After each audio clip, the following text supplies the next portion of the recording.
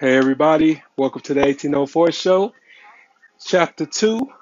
I'm your host, Dollar Will, and this is another episode of 1804 history.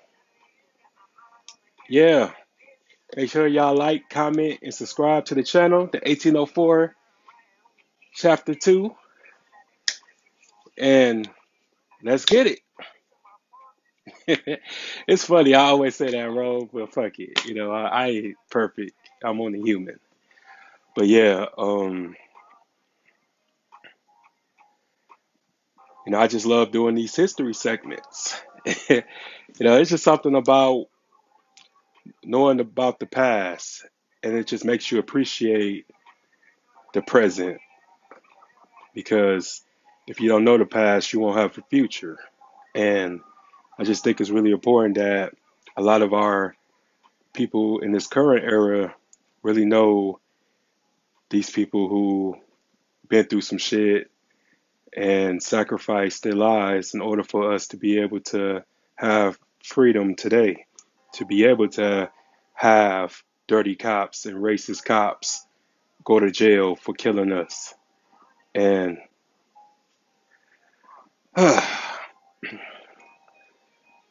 yeah, um I wanted to continue on with Red Summer of 1919 because that was one of the summers that was the most bloodiest, the most craziest in record.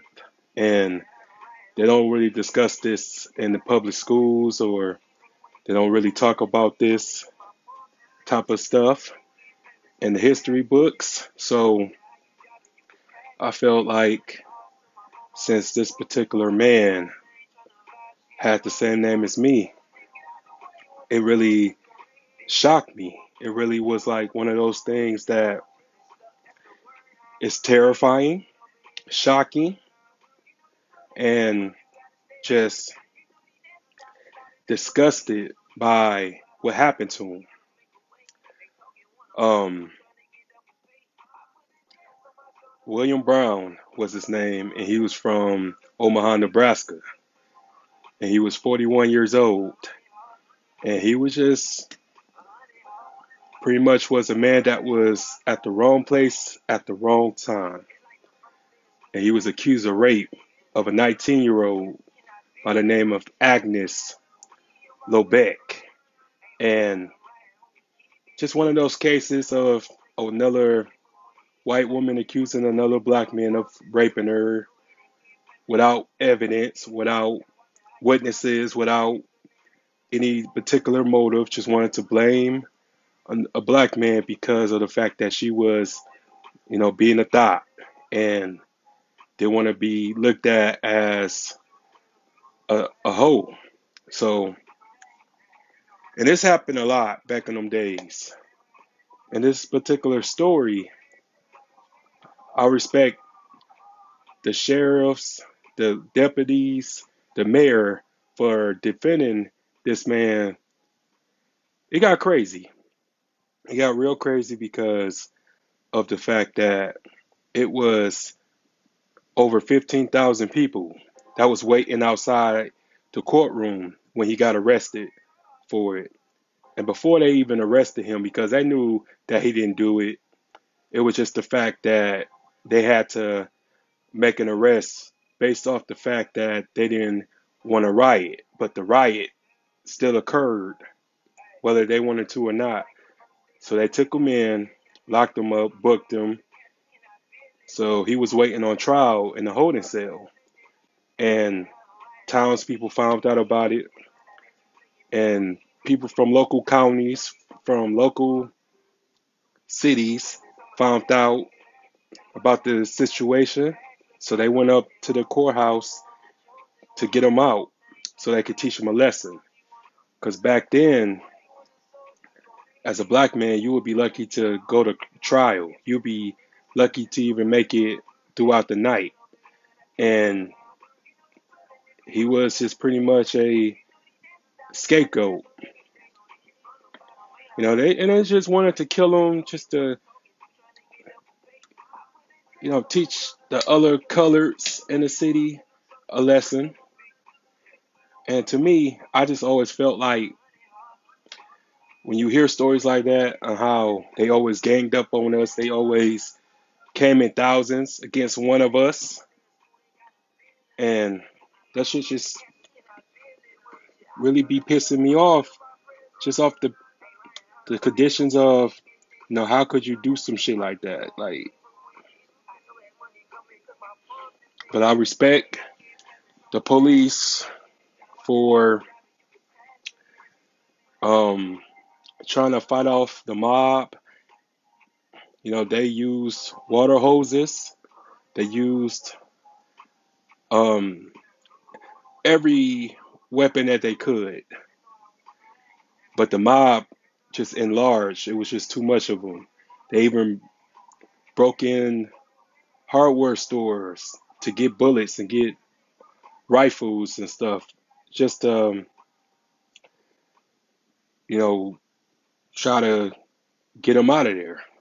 So eventually, they made it to where Will Brown was being held and got him out from under the bed.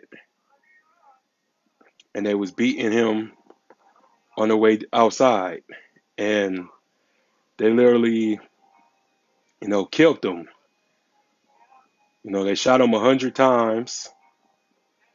They pretty much cut off his ears, cut off his fingers, cut off his toes, and, and shot him a hundred times. But before they did that, the mayor got into the situation and he pretty much was like, Well, if if you want him, you're gonna have to take me too. So they lynched the mayor before they was able to get Willie Brown. And they both um was hung on the same tree. and they took a picture while they set him on fire while he was already dead. And they took a, the famous picture, and I will have it on the thumbnail when I put this on my YouTube channel. But it's a famous picture of them standing around, hundreds of people standing around smiling while this man's corpseless body is being burned.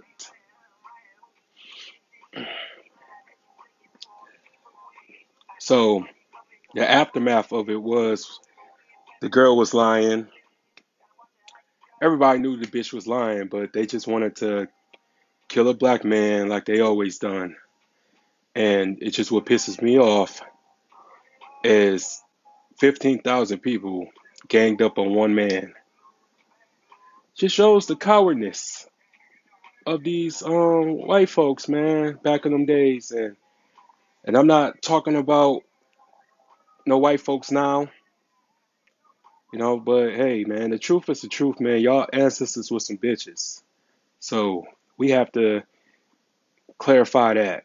We have to let it be known. Just to gang up on a person just shows that you're nothing but a coward.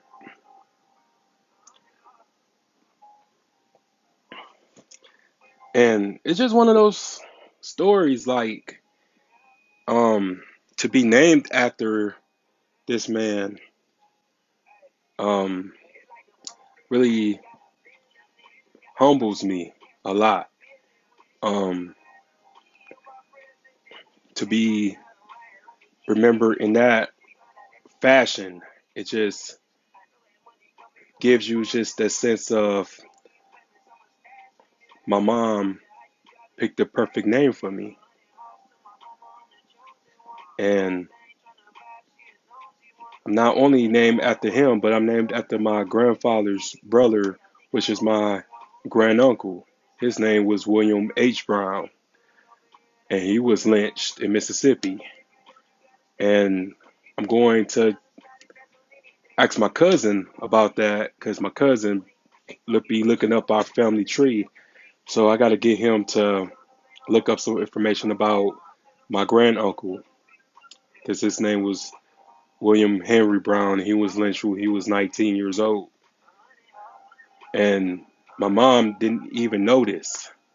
So for me to be the second William Brown in my family, like, it's just like one of those things that you feel like you was reincarnated in a way. So I just have those goosebumps and those chills when you find out about things like that. But at the end of the day, man, um, I feel so bad for that man who was innocent, who didn't do anything, but yeah, he just was killed all because of lying assholes, man, and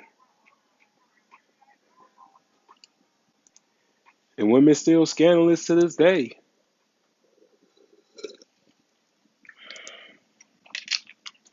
But I do respect um, the sheriff's department and the mayor for trying to help him out because they was risking their lives as well. But they they wouldn't stop until they lynched a black person, a black man that night. They wouldn't stop. So, uh, that's the end of the story. But rest in peace to the ancestor William Willie Brown. Rest in peace to my grand uncle William Henry Brown. As the William Brown now, I'm gonna rock this shit. I'm gonna make sure that y'all remember it in good graces. But yeah, everybody, that's the end of this story. Make sure y'all like, comment, subscribe to the YouTube channel, the 1804 Show Chapter 2. And peace. I'm out. Have a good night.